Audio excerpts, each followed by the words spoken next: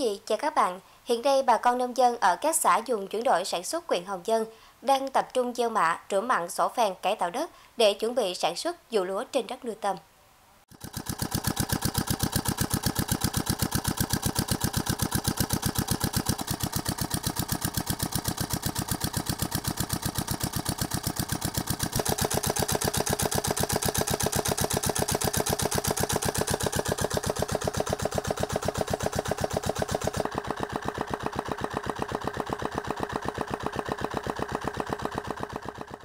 Nước năm nay thì nói nào ngay đi, nó cũng ờ,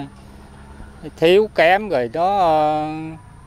sửa đất này kia nọ thì nó cũng mưa gió thất thường quá. Sửa đất rồi rút nước ra rồi giờ cho mưa nó đổ ờ, sạch phèn với nước mặn đâu đó. Rồi đừng mình xạ lại đây giống thì nó mắc, mình làm cho nó hơi kỹ càng chút rồi nó hơi đỡ cho dân thì mình cũng à, mần cỏ rồi mình xới rồi đánh đường nước rồi chứ đó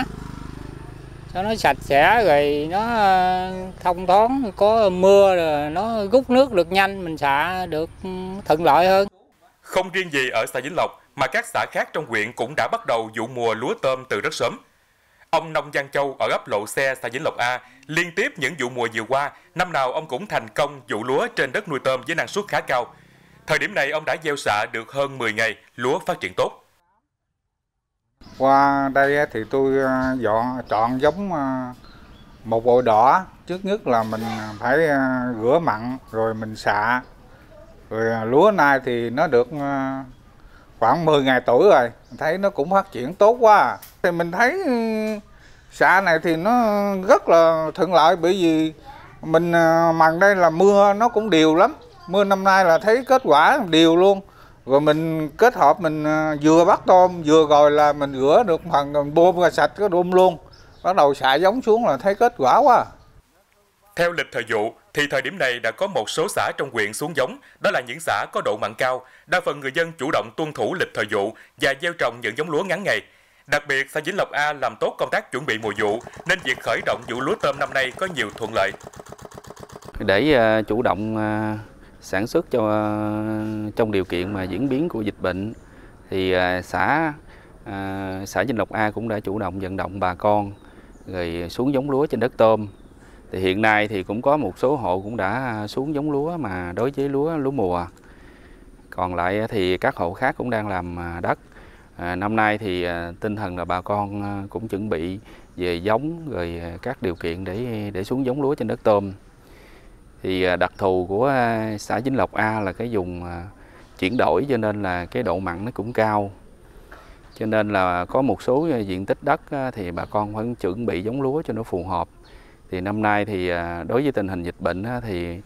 lúc đầu thì cũng khó mà hiện tại giờ bà con người ta cũng chủ động được giống rồi. Thì năm nay trên địa bàn của xã Vĩnh Lộc A thì sẽ xuống giống lúa đối với lúa một bụi đỏ là giống lúa của địa phương à, cùng với đó thì với một giống lúa số giống lúa khác như là OM rồi à, giống lúa à, mà, mà lúa lai. À, xã cũng à, đang vận động bà con rồi à, cũng như phối hợp tốt với trung tâm dịch vụ kỹ thuật nông nghiệp phòng nông nghiệp à, để à, à, hướng dẫn cho bà con để à, tháo mặn rửa phèn rồi cải tạo làm đất những chuẩn bị xuống giống lúa thì do diễn biến của tình hình dịch bệnh cho nên là à, tập trung bà con đông lại để tuyên truyền thì à, à, không được. Cho nên là xã cũng có chủ động là rồi chia ra từng khu nhỏ rồi đến cho từng nhà hộ dân để tuyên truyền đến tận từng hộ để bà con nắm được cái tình hình cũng như là nắm được cái lịch xuống giống lúa trên đất tôm. Cơ bản bà con cũng đã nắm được tinh thần này thì à, đến tại, hiện tại giờ thì bà con cũng đã xuống giống được ở à, hơn 50 hecta thì à, năm nay dự kiến là trên địa bàn của xã Vinh Lộc A thì xuống giống có khoảng 3.000 hecta thì năm nay thì tình hình bà con cũng xuống giống cũng tương đối tốt. Trong cái điều kiện diễn biến biến của dịch bệnh khó khăn như vậy thì xã cũng có chủ động là thành lập các tổ hợp tác, rồi kiện toàn lại cái hợp tác xã cũng như là cho hợp tác xã khởi động lại đối với hợp tác xã nông nghiệp tổng hợp Ba Đình à, để chủ động về phân thuốc kể, kể cả nữa là ký bao tiêu đối với một số doanh nghiệp để giải quyết đầu ra cũng như là cung ứng các cái vật tư đầu vào cho bà con thì trước gì dịch bệnh như vậy thì phải chủ động trước vấn đề này thì xã cũng đã thành lập được à, 6 tổ hợp tác à, với một hợp tác xã của một hợp tác xã nông nghiệp cũng anh em bắt tay vào vấn đề sản xuất lúa của bà con. Nhiều người dân cho biết, mặc dù những năm gần đây thời tiết diễn biến phức tạp gây khó khăn trong việc sản xuất vụ lúa trên đất nuôi tôm của bà con nông dân, Tuy nhiên, thực tế đã qua cho thấy nếu nơi nào có sản xuất lúa thì quá trình nuôi tôm sẽ đạt hiệu quả cao hơn. Nên bà con quyết tâm duy trì sản xuất vụ lúa trên đất nuôi tôm nhằm đảm bảo môi trường cho tôm nuôi phát triển tốt. Thực tế cho thấy sản xuất vụ lúa trên đất nuôi tôm không chỉ giúp người dân tăng thêm thu nhập mà còn tạo môi trường thuận lợi cho tôm nuôi phát triển tốt. Các ngành chuyên môn cũng đã quy hoạch lại sản xuất và từng bước đầu tư hệ thống thủy lợi tại các vùng sản xuất vụ lúa trên đất nuôi tôm, giúp bà con nông dân giảm bớt thiệt hại do thời tiết gây ra và đặc biệt, chính quyền nơi đây cũng đã có kế hoạch nhân rộng mô hình này với tên gọi lúa thơm tôm sạch. Đối với phía huyện Hồng Dân thì cũng đang là tuyên truyền vận động cho bà con nông dân là tích cực là sử dụng các cái giống lúa cấp xác nhận à, chất lượng cao, đặc biệt là lúa thơm để định hướng để à, sản xuất ra cái à, gạo an toàn. Thì à, trước hết thì do là cái đặc thù của huyện Hồng Dân là cái dùng tôm lúa. Thì muốn sản xuất được cái mô hình lúa thơm tôm sạch thì trước hết chúng tôi đã xác định là chúng ta phải có được cái cây lúa an toàn trước. Thì à, để sản xuất lúa được an toàn thì đồng nghĩa với việc đó thì chúng ta sẽ xây dựng cái quy trình để sản xuất cái con tôm. Nó cũng theo cái quy trình an toàn. Định hướng tiếp theo của chúng tôi là chúng tôi sẽ xác định lại cái dùng sản xuất lúa tôm theo hướng an toàn thì từ đó chúng tôi sẽ à, triển khai các cái kế hoạch tập huấn theo cái à, quy trình là lúa thơm, tôm sạch cho những năm tiếp theo. Thì à, trong năm 2021 này thì về phía huyện Hồng Văn thì cũng có triển khai à, các cái nguồn vốn để hỗ trợ cho cái à, hộ dân sản xuất dùng tôm lúa. À, cụ thể như là chúng tôi đã triển khai khoảng trên dưới 8.000 hecta, đó là cái nguồn vốn từ tỉnh và huyện để đầu tư à, hỗ trợ cho nông dân dùng chuyển đổi về giống và các vật tư để mà sản xuất à, theo cái quy trình à, lúa thơm, tôm sạch. Mà chủ yếu là sử dụng các cái vật tư đầu vào là phân, hữu cơ và thuốc vi sinh để đảm bảo cho quá trình mà sản xuất theo hướng an toàn. Thì về cái hình thức thì đối với hỗ trợ thì chúng tôi theo quy định của pháp luật cụ thể như giống thì chúng tôi sẽ hỗ trợ 50 50 thì à, còn lại thì à, phân thì chúng à, hỗ trợ chủ yếu là bằng vật tư chứ không bằng tiền mặt và theo định mức của ngành chuyên môn. Theo lịch thời vụ sản xuất, tháng 9 năm 2021, các địa phương dùng sản xuất phía Bắc quốc lộ 1A sẽ tập trung xuống giống lúa trên đất tôm. Riêng huyện Hồng Dân dự kiến sẽ có hơn 23.000 hecta diện tích xuống giống trong vụ mùa này. Và hiện tại thì đã có hơn 21.000 hecta đã xuống giống, gieo xạ chủ yếu là giống lúa ST24, ST25, đài thơm 8, OM18, lúa lai và một số loại giống khác. Tuy nhiên, do ảnh hưởng của dịch Covid-19 nên việc thực hiện kế hoạch này gặp nhiều khó khăn, nhất là vật tư phục vụ cho sản xuất. À, năm nay thì bị à, cái phản cách chỉ thị này nó cũng mua giống cũng khó khăn. À, này kia nọ thì cũng mua thì khó rồi nó mắc giống rồi nó thiếu thốn tùm lum hết trơn. Mua à, giống à, à, HG đó, 182 đó tới trăm ba chục ngàn một ký. Mắc hơn tới à, ba mươi mấy bốn chục ngàn một ký lô. Tôi thì nông dân thì tôi cũng à, yêu cầu nhà nước về mà điều chỉnh giá phân đầu này chia nọ cho nó ổn định là cái giá phân năm nay thì nó quá cao nó cao hơn năm rồi quá trời năm nay gì bao giờ nó bán như mấy đại lý đây nó bán là một bao một triệu. So như năm rồi là nó trên lệch là 400 ngàn một bao. À, cái nỗi lo của người nông dân ở đây là những cái phân phân bây giờ nó quá cao thì so lại nông dân thì màng ra nó cũng cực nữa. Mà mình bỏ công vô nhiều quá thì thấy nó gặp nhiều khó. Bây giờ cũng cần nên khuyến mà à, ở ờ, trên là phải cần hỗ trợ giá không thôi là giảm bớt cái ờ,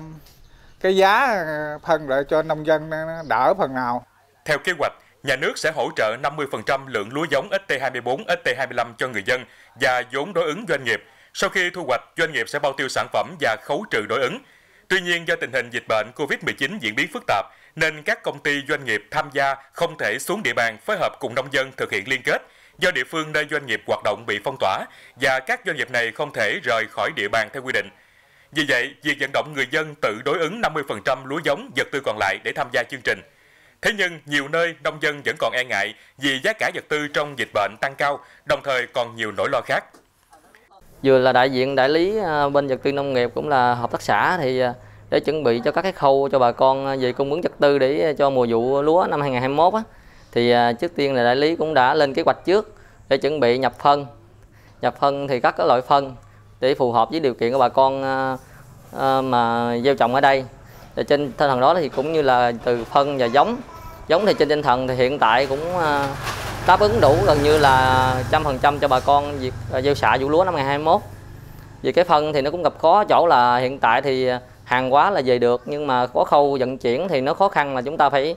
sang chuyển hàng hóa nó qua hai ba công đoạn thì cũng hơi phức tạp chút xíu. Về à, cái giá vật tư nông nghiệp năm nay thì so với à, cùng kỳ năm rồi thì nó à, tăng nó tăng lên nhiều. Thì nó dao động là từ khoảng 40 đến 60 phần trăm tùy theo loại phân. Thì hiện tại thì trước tình hình mà giá phân tăng cao này, nói chung cũng ảnh hưởng một phần đến vấn đề mà cái tư tưởng của bà con. Tại vì bà con hiện tại là vào vụ lúa thì biết chắc là phân bón, thuốc men thì bắt buộc phải xài đó về cái giá hiện tại tăng cao thì bà con cũng rất là e ngại. Thì tinh nhân tinh tinh thần thì bà con cũng phải chấp nhận. Lý do là mùa vụ đã đến thì bắt buộc là khi gieo trồng thì bắt buộc phải phải xử lý phân thuốc rồi. Về hướng này thì cũng à, báo cáo là để làm sao thế nào chúng ta cần có giải pháp để làm bình ổn giá cái giá phân lại hoặc là kéo giá phân xuống để cho bà con ổn định trong trong cái khâu sản xuất. Nếu mà giá phân này tăng cao thì về đánh giá tới cuối vụ á, chi phí cao quá thì khả năng đồng lợi của bà con có thể là không có. Việc tập trung xuống giống lúa trên đất tôm sẽ góp phần quan trọng và thực hiện thắng lợi mục tiêu kép với hai mặt hàng chủ lực là con tôm và hạt lúa. Vì vậy, ngay từ đầu năm, huyện Hồng Dân đã khẩn trương xây dựng kế hoạch sản xuất gắn với việc thực hiện tốt các chính sách hỗ trợ nông dân để phát triển mạnh mô hình lúa thơm tôm sạch.